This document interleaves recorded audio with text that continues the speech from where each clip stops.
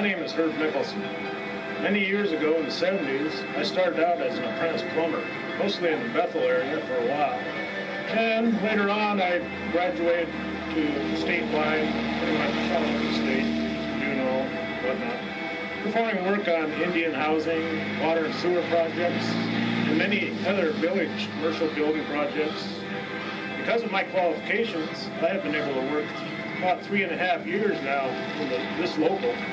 Um, many of it on this hospital you see right behind me here.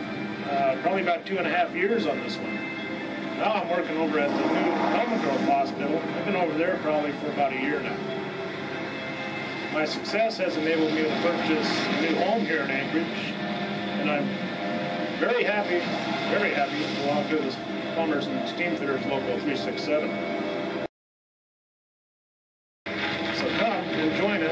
Forward to working with you on a construction project.